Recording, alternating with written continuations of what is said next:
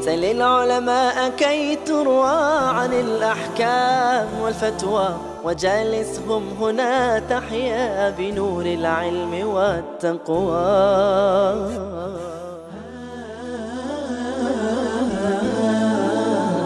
السلام عليكم ورحمة الله وبركاته مشاهدينا الكرام أرحب بكم مع حلقة جديدة من برنامج فتاوى على الهواء الذي نستقبل فيه تساؤلاتكم واستفساراتكم على الهواء مباشرة عبر الأرقام التي ستظهر أسفل الشاشة تباعا صحبة ضيف البرنامج الدائم فضيلة الشيخ الدكتور حمزة أبو فارس. حياك الله شيخ.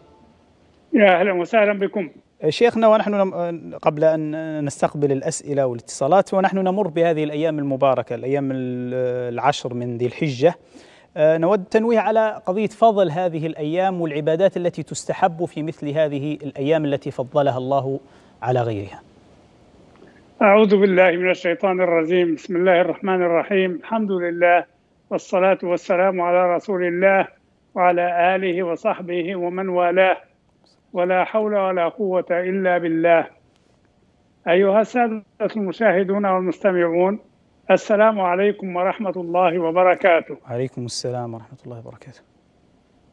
وبعد فإن هذه الأيام هي أيام مباركة وفضلها عظيم والثواب فيها مضاعف نعم لأنها من من أفاض من فضليات الأيام والليالي ويكفي في ذلك قول الله تبارك وتعالى أعوذ بالله من الشيطان الرجيم. بسم الله الرحمن الرحيم. والفجر وليال عشر. ويعني أكثر العلماء على أن الفجر المقصود به فجر يوم عرفة. فهو يعني داخل في الأيام العشر. ويعني مسألة سميت الأيام العشر أو الليالي العشر عفوا. إذا قلنا الليالي العشر معنى ذلك أن اليوم الأخير وهو التاسع قال العلماء له ليلتان. ليلة قبله وليلة بعده. فهو يوم فقط وليس له ليلة. نعم. وإنما الليلة لليوم الذي قبله. نعم. واليوم الذي يأتي بعد عرفة. هما ليلتان ويوم واحد. هذه مسألة الليالي العشر. نعم.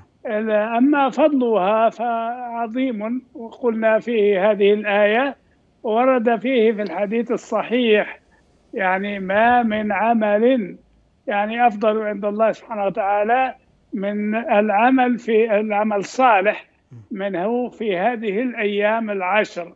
نعم. قيل له ولا الجهاد في سبيل الله؟ قال ولا الجهاد في سبيل الله إلا أن يخرج يعني إلا أن يخرج ليجاهد بنفسه وماله فلا يرجع بشيء من ذلك.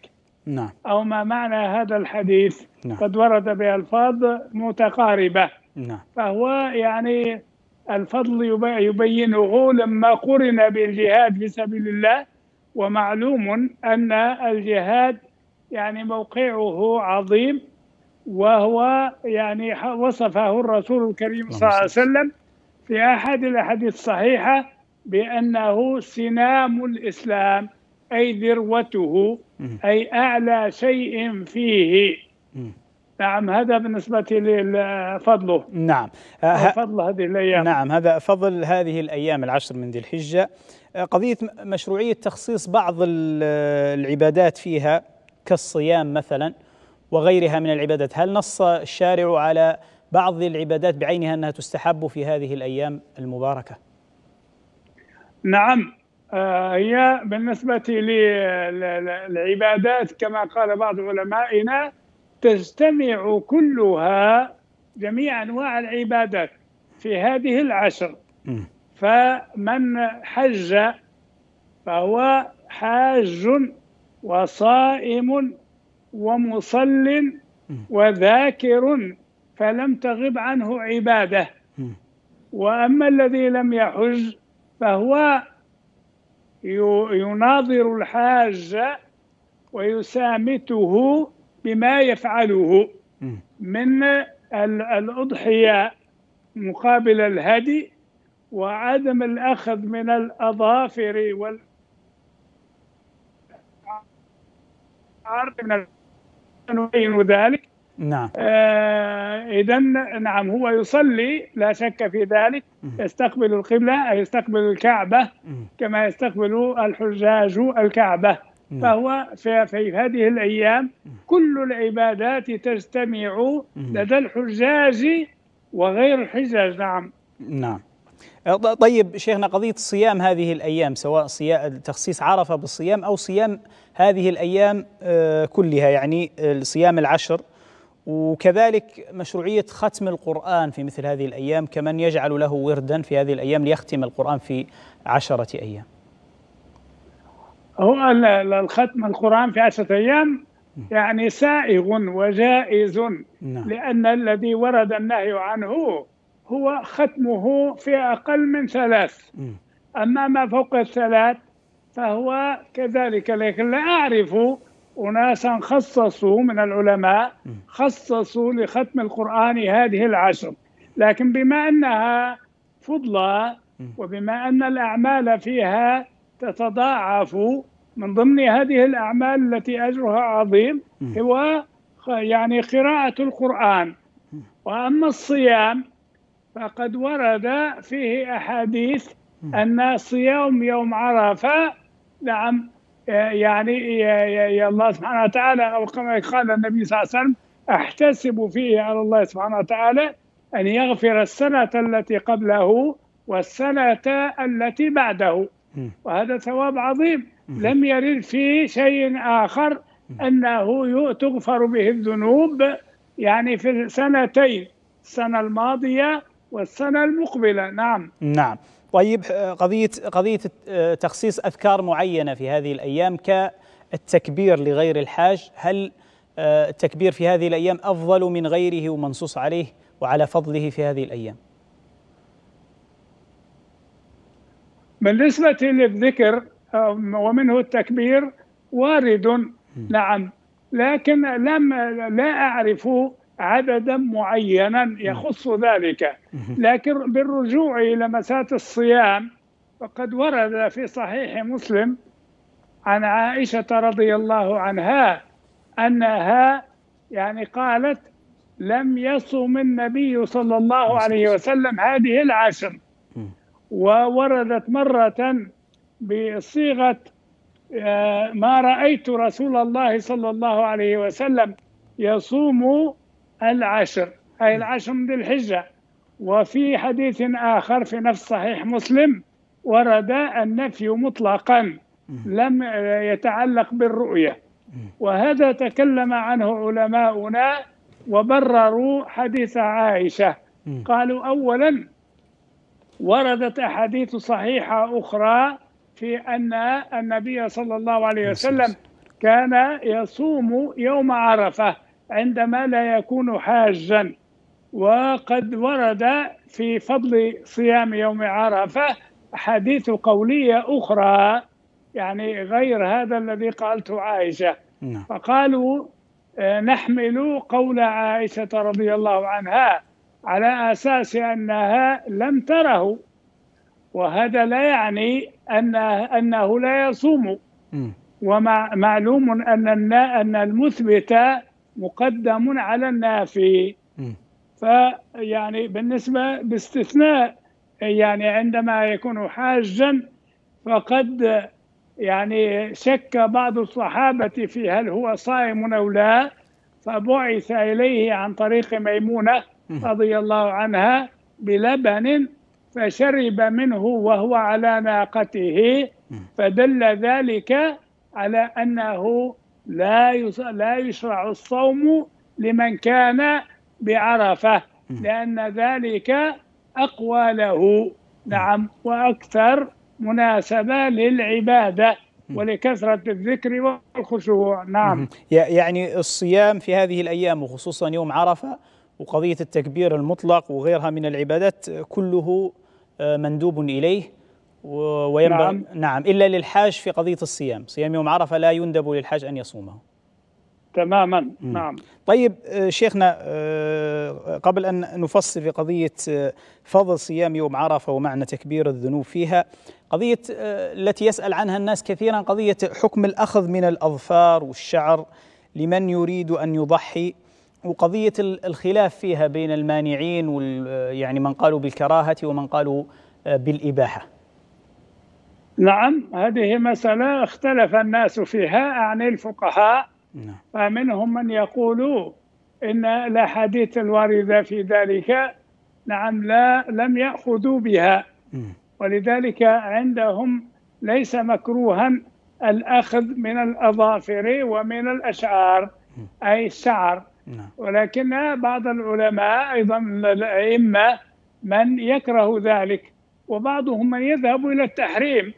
فقد ذكر يعني المصنفون أن الإمام أحمد رضي الله عنه وجميع أئمة المسلمين أنه يرى حرمة الأخذ من هذه الأشياء. فإذا يعني كل له دليله. منهم من قال إن بالنسبة للحاج لم يؤمر بذلك مع أنه صاحب هدي والهدي أفضل من الضحايا.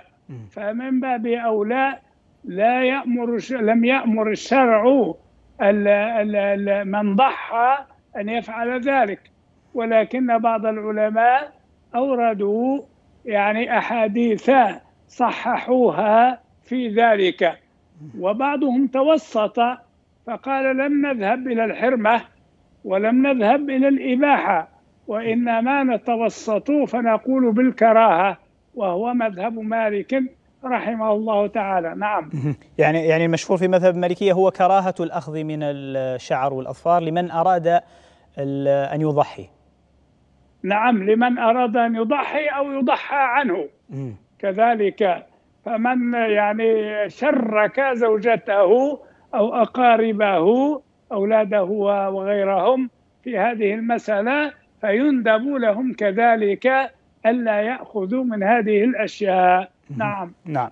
طيب شيخنا قضية نعود لقضية فضل صيام يوم عرفة. ومعنى قضية تكفير الذنوب في صيام لمن صام هذا اليوم. قضية العام الماضي والعام القادم وهل تدخل في مثل هذه الذنوب الكبائر التي يرتكبها الإنسان؟ الذي قاله العلماء أن أنه يغفر أو تغفر في هذه الأيام الذنوب الصغائر. أما الكبائر فهذه لا تكفرها إلا التوبة والتوبة بابها مفتوح في جميع الأيام. أما آه، في هذه الأيام التكفير يقع للصغائر نعم. طيب آه، شيخنا من من القضايا التي أحيانا تتفق يعني مثل ما حدث في هذا العام أو سيحدث في هذا العام قضية أن يوافق يوم عرفة يوم الجمعة. فهل يندب آه، صيام يوم الجمعة يعني مطلقا وخاصة إذا وافق يوم عرفة؟ نعم بالنسبة لصيام يوم الجمعة لغير الحجاج نعم مندوب نعم بمناسبة وقوع وقوع يوم عرفة مصادفة يوم جمعة. ولذلك نعم هو يوم عرفة يأخذ نفس الثواب كأنه في يوم آخر. وكذلك السبت إذا صادف يوم عرفة فإنه لا يكره صيامه حتى عند من يقول بكراهة يوم السبت أي إفراده. نعم. والمالكية عندهم لا كراهة لا في صيام الجمعة ولا في صيام السبت ولو ورد منفردين. فهذه المسألة لا تهمهم. نعم. نعم. يعني على كل الأحوال يستحب صيام يوم عرفة ولو وافق يوم الجمعة أو يوم السبت. نعم تماما. طيب شيخنا أحد الإخوة يسأل عن قضية ما ذكرتموه في بداية الحلقة وهي أن مما يستدل به على فضل هذه الأيام آه، قول الله سبحانه وتعالى والفجر وليال عشر. يقول الإشارة إلى الليالي آه، كيف يكون الفضل مقصود به اليوم والإشارة في الآية إلى الليالي وليس للأيام. لا لعل لعل المسألة ما ذكرناه في مسألة أن أن يوم عرفة له ليلتان وبالتالي يعني أصبح مسوغا أن يقال ليال عشر. لكن على كل حال هي الأيام تسع نعم يوم التاسع لأن يوم النحر يحرم صيامه. لكن الليلة تتعلق به كما ذكرنا. نعم وبالتالي جمعت الليالي على عشر. نعم. طيب آه شيخنا في آه أحد الإخوة يسأل عن قضية ما يسمى التعريف في يوم عرفة لغير الحجاج. نعم التعريف ذكره الإمام الطلطوشي آه، أبو بكر الطلطوشي وهو من علماء المالكية في المدرسة مدرسة الإسكندرية. ومشهور هو يعني بفقهه وتعمقه وقد ألف كتابا في البدع وطبع منذ أكثر من أربعين عاما ذكر نعم. مسألة التعريف وذكرها في البدع وما هو التعريف نعم. التعريف أتى من كلمة عرفة يعني بعض بعض الناس يعني اقترحوا أو ذكروا أن من لم يحج فيمكنه أن يحوز بعض الأفضال في في عمل هذا التعريف بأن يجلس بعد عصر يوم عرفة وكأنه حاج نعم يذكر الله سبحانه وتعالى ويتلو القرآن الكريم في المسجد إن استطاع فهذا هو التعريف. وقد ذكر بعض الناس أن ذلك مستحب جماعة. قلنا والصحيح من أقوال من أقوال العلماء أن هذه من البدع نعم فلا يجب أن تفعل. نعم. نعم. طيب شيخنا أحد الإخوة أيضا يسأل عن قضية آه، الصيام يوم عرفة آه، هو عنده عملية منظار في يوم عرفة فهل آه، عملية المنظار مبطلة للصيام أم لا؟ المنظار ذكر العلماء وقد استشاروا في ذلك الأطباء قالوا إن كان جافا ليس معه شيء فلا تأثير له في الصوم. أما إذا كان معه بعض السوائل أو بعض الأدوية فإنه مفطر. وعلى كل حال من كان بهذه الحال وبه ضرورة إلى هذا المنظار وقد كان يفعل ذلك في السنوات الماضية فإن الله سبحانه وتعالى يكتب له أجر هذا الصيام ولو لم يصم لأنه قد صامه في الأيام في الأعوام الماضية. نعم. نعم. آه طيب آه شيخنا قضية آه، من الأيام العشر هذه هذه يوم العيد. هل تتعلق به أحكام خاصة مخالفة لهذه الأيام التي قبله ويوم عرفة. نعم تتعلق به أحكام خاصة منها مسألة الصوم ممنوع. يعني يحرم الصوم يوم النحر فإن هذا إعراض عن الأكل من الأضحية التي هي من السنة. نعم ولذلك يجب بل إن العلماء يعني آه، سنوا أو استحبوا قضية بداية هذا اليوم بالإفطار من لحم الأضحية. بعكس آه، يعني عيد الفطر فإنه مستحب أن يأكل المسلم شيئا من تمرات أو رطبات أو حسوات من ماء قبل أن يخرج إلى المصلى. أما في الأضحى فالمستحب أن يؤخر الفطرة إلى أن يأكل شيئا من أضحيته إذا كان ممن يضحي. نعم. نعم. آه، طيب طيب شيخنا قضية قضية يوم العيد الصيام في عيد الأضحى آه، محرم في اليوم الأول فقط أم تلحق به الأيام الأخرى للعيد؟ هو محرم في الأيام الثلاثة. وأما في اليوم الرابع فأجاز العلماء صيامه لبعض الناس. منهم الذي يصوم تمت... لصيام التمتع. نعم. آه، فالذي ذكر الله سبحانه وتعالى يعني ثلاثة أيام آه، في الحج وسبعة إذا رجعتم. فقضية إذا كان اليوم الرابع داخل في في الأيام المطلوبة وهي تكملة العشر يجوز صومه. نعم. نعم. طيب آه، طيب شيخنا الأمور الأخرى التي تشرع في هذا اليوم أو تستحب في يوم العيد لغير الحاج؟ العيد آه، في فيه كثير من الأمور المستحبة. نعم. بل وكذلك الواجبة. كما ذكرنا عدم الصوم هذا على الوجوب. نعم. لأنه إعراض عن ضيافة الرحمن سبحانه وتعالى. الأمور الأخرى هي مسألة آه، الذهاب إلى صلاة العيد أو لنقول صلاة العيد نفسها. نعم هذه سنة مؤكدة كما ذكرنا في السابق ولذلك نعم يندب الذهاب إليها حتى لمن لم تلزمه. حتى لمن لم تلزمه. آه، حتى للصبيان وللنساء يجوز لهن ويجوز لهم نعم أن يحضروا هذه المشاهد التي يشهدها المسلمون. نعم. نعم. هذا بالنسبة للصلاة. بالنسبة عندنا أشياء أخرى تتعلق آه، بالعيد. لا أعرف نذكرها الآن أو نواجلها نعم. إلى أن يصل العيد نعم طيب طيب شيخ لعلنا نذكر بعضها في قضية آه، خاصة ما يتعلق بقضية صلاة العيد آه، الحكم ذكرتموه أنها يندب الذهاب إليها حتى لمن آه، لم يبلغ آه، توقيت هذه الصلاة توقيت صلاة العيد متى يكون؟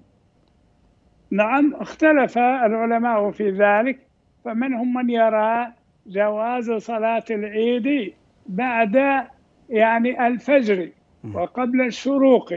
لكن المشهور عند أكثر العلماء ومنهم المالكية أن ذلك نعم يعني يبتدئ وقته من حل النافلة أي طلوع الشمس وارتفاعها قدر رمح.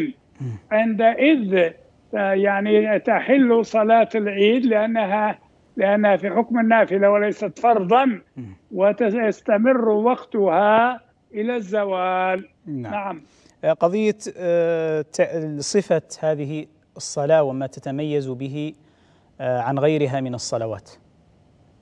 نعم صلاة العيد آه، من المندوب آه، فيها أن تصلى خارج المساجد. إلا إذا كان الوقت لا يسمح بذلك. وذلك كالأمطار والرياح الشديدة إلى آخره. وإلا لمن كان بالمسجد الحرام. نعم. فإن الصلاة في المسجد الحرام أفضل من الصلاة خارجه.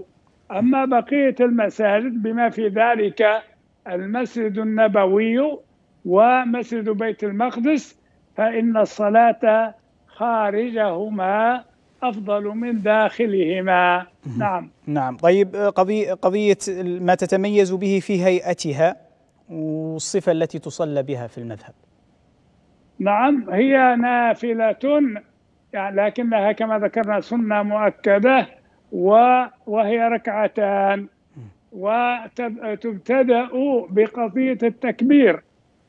فعند المالكية ويعني يكبر الإمام نعم بتكبيرة الإحرام سبع تكبيرات أي في الركعة الأولى ثم في الركعة الثانية خمس تكبيرات غير تكبيرة القيام.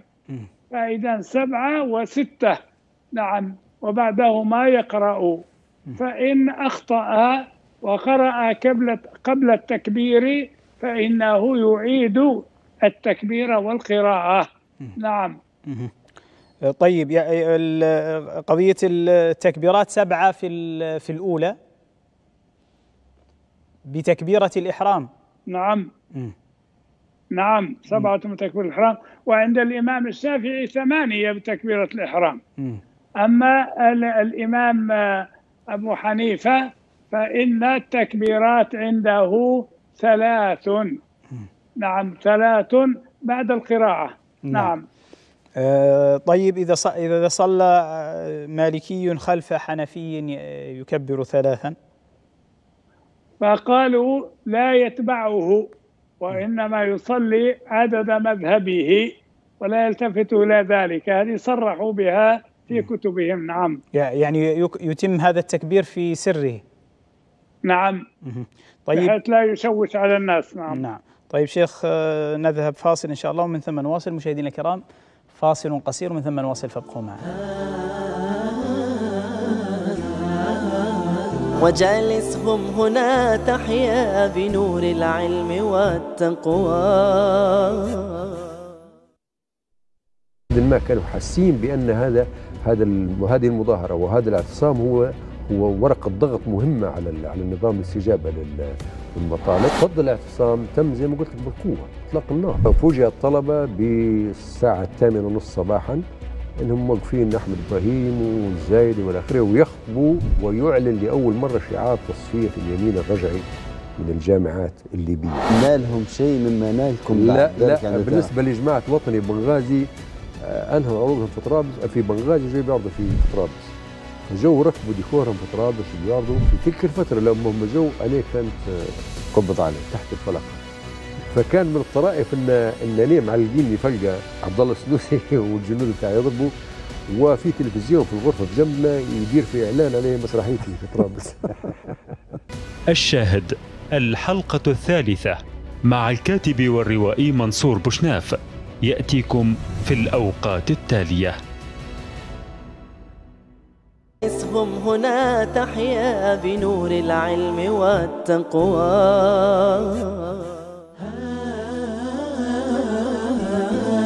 السلام عليكم ورحمة الله وبركاته وأهلا ومرحبا بكم من جديد. آه، طيب شيخنا قبل أن ننتقل الأسئلة نأخذ يعني بعض المسائل التي آه، تختص بصلاة العيد منها قضية إذا فاتت صلاة العيد في المسجد هل تقضى وهل يمكن أن تقضى في جماعة؟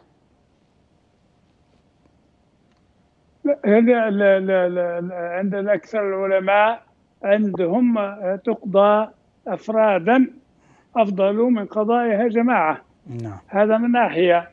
آه، لكنها هي ليست قضاء بمعنى الكلمة ولكن آه، للحصول على الفضل لمن لم آه، يعني يلحق بالإمام.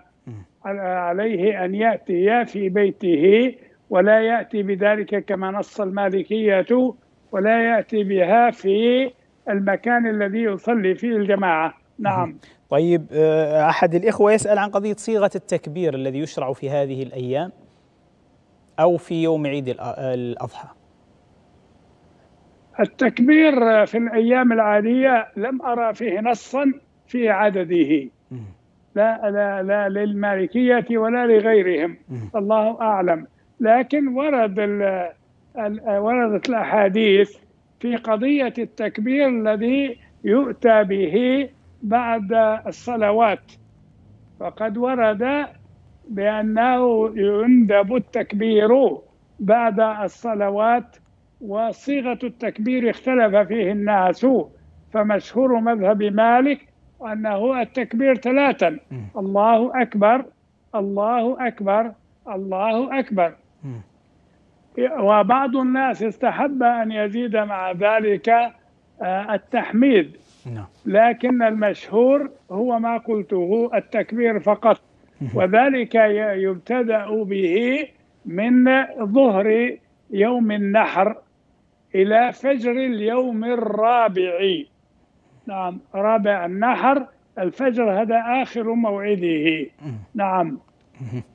آه طيب الصيغة الصيغة كما ذكرتموها قضية تعلق خطبة العيد بالصلاة.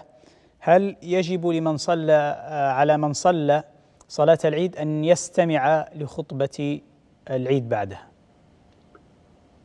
آه، بالنسبة للاستماع إلى خطبة العيد وهي بعد الصلاة عكس الجمعة واختلف الناس في مسألة الاستماع إليها. فمنهم من ساوى بينها وبين خطبة الجمعة من حيث الاتجاه ناحية الإمام ولو كان في الصف الأول حتى ولو كان سا يعكس الاتجاه ناحية القبلة. ويعني بعض الناس قالوا قال ذلك وبعضهم قالوا لا إنما يندب ندبا. مسألة الاستماع إلى هذه الخطبة وبالتالي حتى حضورها. نعم يتبع ذلك. نعم. طيب شيخنا أحد الإخوة يسأل عن قضية الإفطار من الأضحية. قال إذا كان عائلة واحدة فيها أكثر من أضحية هل يجب على كل منهم الانتظار والأكل من أضحيته؟ هو أم يجزئ أم يجزي أن يأكل من أول أضحية تذبح؟ هي إذا كانت المسألة تتعلق بأضحية واحدة فالمسألة واضحة. نعم. أما إذا كانوا قد ذبحوا أضاحي وكلهم يعني توفرت فيه الشروط فيكفي أحدهم أن يأخذ قليلا من أي أضحية كانت عندهم. لكن إذا كان هي الأضحية له القضية واضحة. وإذا كانت كانت له ولمن تبعه. أي أدخل وشرك بعض أقاربه بالشروط التي سنذكرها والتي تتوفرت. فإنه يجوز الاشتراك في الأضحية أي تشريك أحدهم في أضحيته غيره. فهذا نعم آه، بالنسبة لهذا هذه الأضحية تعتبر له هذا المشرك. فهذا الذي له الأضحية أساسا يستطيع أن يأخذ منها شيئا في إفطاره كما ذكرنا بعد أن تنتهي الصلاة ولغيره ممن شركهم أن يشاركوه في أكل بعضها كذلك. أما بالرجوعنا إلى مسألة متى يجوز التشريك قالوا الأصل فيها أن كل يعني كل مسلم آه، ليس تجب تسن في حقه وتستحب في حقه الأضحية. نعم. إذا كان قادرا عليها ولا تجحف به ولو كان صغيرا له مال. نعم. لكن يمكن أن يشرك هذا المضحي غيره بأن يكتفي بأضحية واحدة. وذلك إذا كان هذا المشرك بالفتح قريبا له وينفق عليه. نعم. وكذلك اشترط شيئا آخر أن يسكن معه أو أن يغلق عليهما باب واحد ولو كانت المساكن متعددة. نعم. نعم. طيب شيخ نستأذنك في أخذ هذا الاتصال معنا الأخ فاضل من الجبل. السلام عليكم. السلام ورحمة الله. مرحبتين أخ فاضل تفضل. نبي نسأل الشيخ عن حكم زيارة المقابر حكم؟ زيارة المقابر. المقابر. إيه. تقصد على العموم ولا لأشخاص معينين ولا كيف؟ لا على المقابر لأشخاص عموم. طيب يجاوبك الشيخ بإذن الله تعالى إن شاء الله. لا ونبيك تتكلم الشيخ يعني هو في لما تسأل فيه عن حكم الحاجات المستحبه في الأيام وحكم الصيام هو يقول لك فيه فيه شيوخ يقولوا هيك وشيخ يقولوا هيك يعني هو محدد الناس معناه يوضح لنا كلامه أما شيء يعني نتبعوه ونمشوا عليه. يعني في في أعطينا علبة خيارات. في أي مسألة هذه؟ في مسألة الصيام والحاجات اللي موجبه في الأيام هذه. المستحبة في هذه الأيام. أيوه. طيب جاوبك الشيخ بإذن الله تعالى بارك الله فيك. طيب شيخنا آه، بعض أنا اللي فهمته من سؤال الأخ الذي آه، قبل هذا السؤال هو يتحدث عن على يعني بعض الإخوة يجتمعوا في مكان واحد يعيدوا مع بعضهم ويذبحوا أضاحيهم مع بعضهم فيقول هو هل ينتظر أضحيته ولا ممكن يأكل من أي أضحية كانت؟ الاستحباب لا لا, لا, يعني. لا الاستحباب يأكل من أضحيته من أضحيته ولا يعني إذا كان القضية عبارة عن أصدقاء أو أقارب والأضاحي مجموعة لا كل يأكل من أضحيته. نعم. نعم. طيب آه، شيخنا آه، أحد الإخوة يسأل أنا أختار بعض الأسئلة ال- القريبة من موضوع وبعدين إن شاء الله ننتقل لأسئلة أخرى. من جاء والإمام يخطب خطبة آه، العيد هل يصلي والإمام يخطب أم يجلس ويستمع الخطبة ثم يصلي صلاة العيد؟ هذه المسألة تتبع من رأى أن الخطبة ليست واجبة. فيأتي ب- ب- ب- بتحية المسجد. وإذا كانت الخطبة يراها واجبة فهو ممنوع. منهم من سوى بينها وبين خطبة الجمعة لكن الصحيح أنها أنهما تختلفان. فخطبة الجمعة وا- واجبة ضرورية. ولا تصح الصلاة بدونها وخطبة العيد نعم ليست واجبة وإنما هي مستحبة ومسنونة. آه، نعم. لكن هو يعني كأنه فاتته صلاة العيد وجاء والإمام يخطب. هل يستحب له أن يجلس ويستمع للخطبة ثم يصلي أم يصلي صلاة العيد والإمام يخطب؟ لا لا لا نص على ذلك بأنه يصلي بعد أن تكتمل الصلاة ويرجع إلى بيته. ولا يصلي حتى في المصلى. نعم نعم آه، طيب شيخنا أحد الإخوة يسأل عن حكم ال- الضحية لمن آه، به ضائقة مالية وعليه ديون هل يستحب له أن آه، يضحي أم ينتظر أم الأفضل أن يسدد بعض هذه الديون الواجبة عليه وهل إذا كان به ضائقة مالية وهو ينوي صادقا أن يضحي هل يمكن يعني أن يكون له أجر هذه الأضحية دون أن يتقرب بها يعني فعلا؟ ال- ال- بالنسبة للجواب على السؤال الأخير نعم.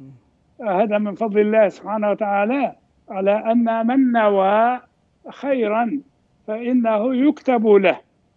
أما ال- ال- الجواب عن السؤال الأول فإن سداد الدين نعم والغرامات وما في حكمها كل ذلك مقدم على الأضحية.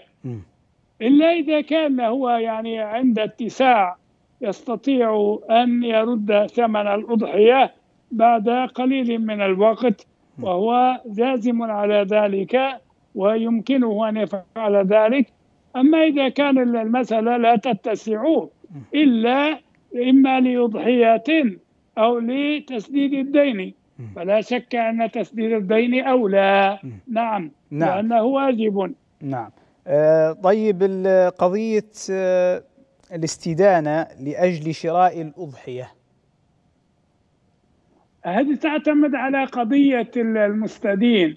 هل يمكنه أن يسدد هذا الدين بكل بساطة؟ أحيانا تكون عنده نقود وهي بعيدة أو أتاه يعني أشياء من ميراث أو غيرها ولم يصل بعد فإذا كان عنده مما يوفي هذا الدين فلا شك أن ذلك جائز. أما إذا كان المسألة غيبية ولا وليست واضحة فلا يصلح ذلك بل يقتصر على الأمور الواجبة نعم. طيب شيخنا آه، إن شاء الله نحن المفروض نفصل في الأضحية أكثر من ذلك لكن بعض الأسئلة لابد أن نجيب ع- علي عنها. آه، منها أحد الإخوة يسأل عن قول المالكية إن الأضحية سنة واجبة. ما المقصود بسنة واجبة؟ معناها واجبة وجوب السنن أي وجب واجبة بالسنة وليست بقرآن. نعم هذا نعم هذا معنى كلمة سنة واجبة. نعم. لا لكن هي أصلا سنة أم واجبة في هذه الحالة؟ لا لا لا. هي واجبة بالسنة هذا معناها.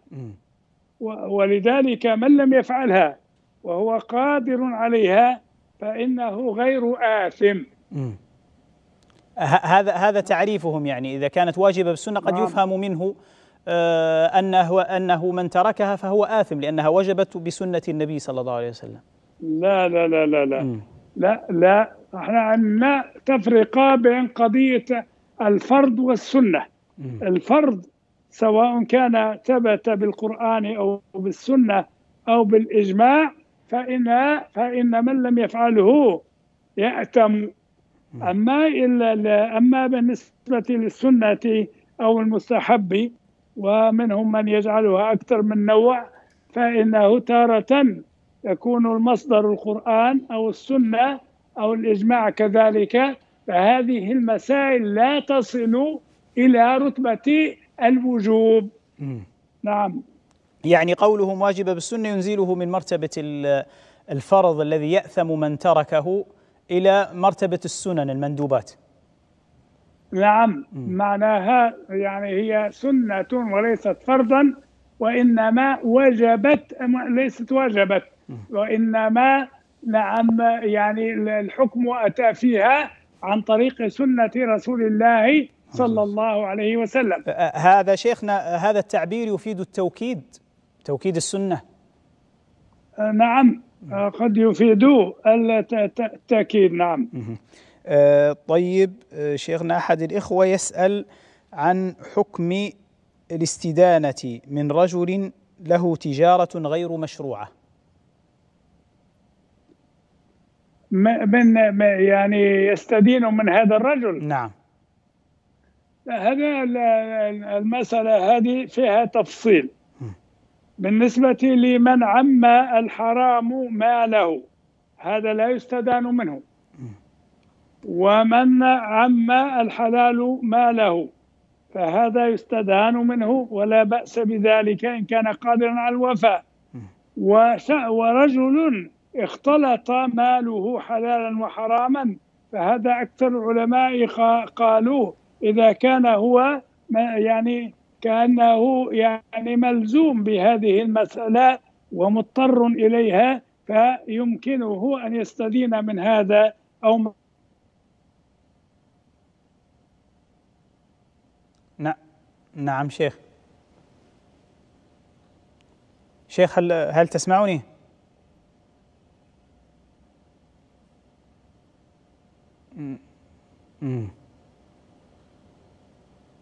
نعم. شي- شيخ آه، يبدو أن فقدنا الاتصال بالشيخ. طيب نذهب إلى فاصل إن شاء الله. نحاول أن آه، نصلح من خلال هذا القطع في الاتصال ثم نعود إن شاء الله.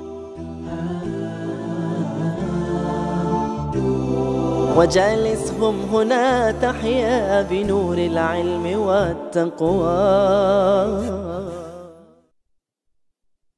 قرار يغادر دبيب المشهد.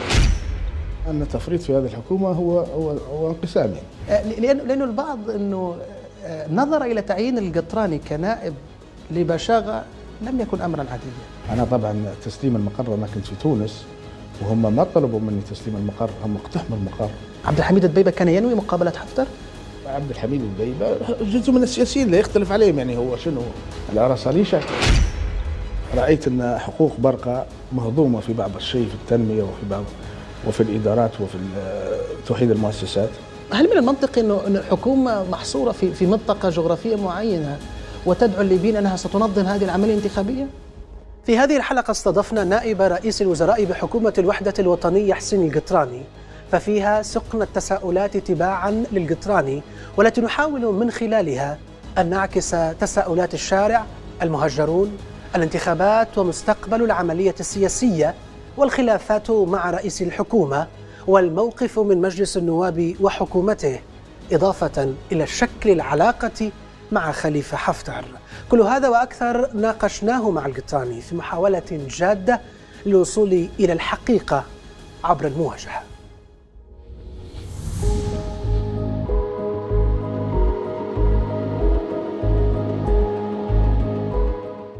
لبيك اللهم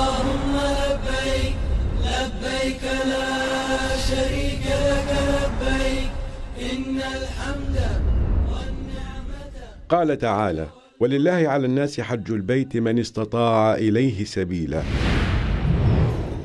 الحج هو أحد أركان الإسلام الخمسة وفرض مرة في العمر على المستطيع. للحج أجر عظيم. قال رسول الله صلى الله عليه وسلم الحج المبرور ليس له جزاء إلا الجنة. قال الرسول صلى الله عليه وسلم بني الإسلام على خمس. شهادة أن لا إله إلا الله وأن محمدا رسول الله وإقام الصلاة وإيتاء الزكاة والحج وصوم رمضان. لبيك اللهم لبيك لبيك لا شريك لك لبيك. إن الحمد والنعمة لك والملك. مساء الخير أهلا بكم في الليلة معكم عزام علي ونناقش فيها. اشتباكات في طرابلس عقب دخول رئيس الحكومة المكلفة من البرلمان فتحي باشاغا. انتهت بخروجه. علقت منظمة هيومن رايتس ووتش على ترشح خليفة حفتر قائلة. إن ترشحه هو دلالة على غياب العدالة والإفلات من العقاب. وهل ما زلنا على أعتاب إجراء الانتخابات في موعدها؟ أم أن فرص تأجيلها لتعديل القوانين ما تزال حاضرة؟ عشية انعقاد اجتماعات القاهرة بين وفدي الأعلى للدولة والنواب بشأن المسار الدستوري تتوارد أنباء عن اجتماعات في سويسرا بحضور شخصيات أمنية وسياسية. أيضا نناقش مستوى حضور القانون في المشهد السياسي الليبي الذي بات يثير الكثير من التساؤلات حول مدى سلامة الإجراءات والتصرفات الصادرة عن الجهات المتحكمة في المشهد الانتخابي. يوم مليء بالتطورات السياسية والأمنية تحركات على الصعيد المحلي وسط الخلاف القائم بين حكومة الوحدة المتمسكة باستمرارها والحكومة المكلفة من البرلمان والتي أدى وزراؤها اليمين اليوم أمام النواب سعيا لاستلام السلطة.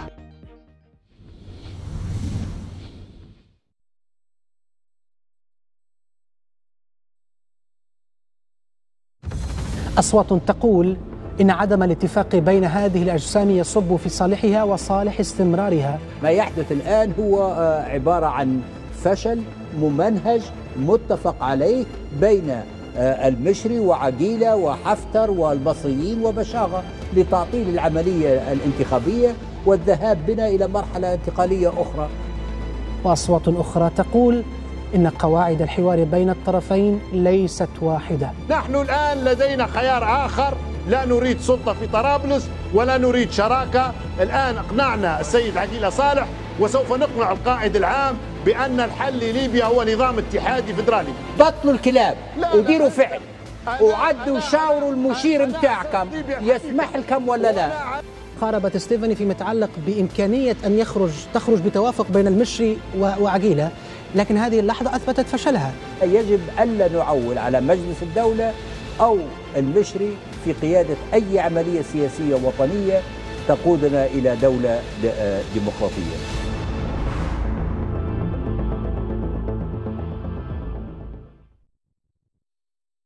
جلسهم هنا تحيا بنور العلم والتقوى.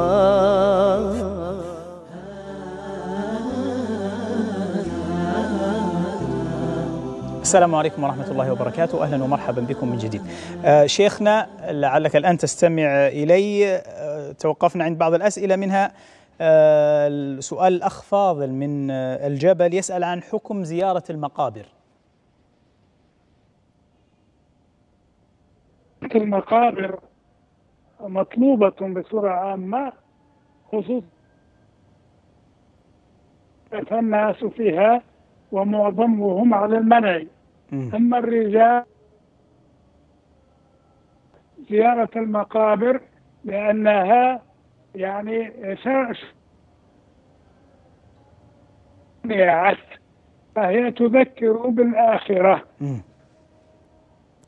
يعني لهذا الغرض لكي نعم. نعم هي يعني هي مستحبة على العموم بخلاف في زيارة النساء للمقابر لأن الصوت صار فيه بعض التقطيع الإجابة نعم. لم تكن واضحة. نعم. تماما. طيب آه لعلنا نختم أيضا بسؤال الأخ فاضل الأخير. يسأل يقول أنتم ذكرتم كثير من المستحبات. تقولون هذه اختلف فيها العلماء ولم تعطوا فيها جوابا حاسما. هل يقدم عليها الإنسان أم لا كقضية الصوم وغيرها؟ في هذه الأيام قضية ختم القرآن والذكر و... لا كل ذلك مطلوب. نعم وهذا الذي قلت قلته فيما أظن. نعم إلا الصيام ذكرت فيه قول عائشة وقول بقية الصحابة. نعم. لكن المشهور عند العلماء أن حتى الصيام فيها مستحب. بما في ذلك عرفة وحتى غير عرفة. حتى ثمانية أيام مطلوب صيامها على وجه الاستحباب. نعم. نعم. نعم. آه، مطلوب فيها الصيام على وجه ال- الاستحباب وقضية القرآن كلها يعني داخلة تحت العمل الصالح الذي يمكن أن يفعله المرء مطلقا. كأنه هو يسأل عن تخصيص هذه الأيام بهذه العبادات.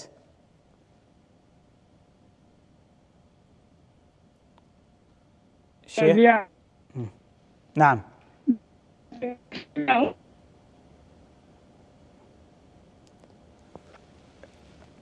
طيب. طيب طيب شيخ بارك الله فيكم. جزاكم الله خيرا. يبدو أننا فقدنا الاتصال. آه، بارك الله فيكم. جزاكم الله خيرا ونفع بكم وبعلمكم. كما أشكركم مشاهدينا الكرام على حسن المتابعة. نلتقي في الحلقة القادمة إن شاء الله. حتى ذلك الحين أستودعكم الله الذي لا تضيع ودائعه. والسلام عليكم ورحمة الله وبركاته.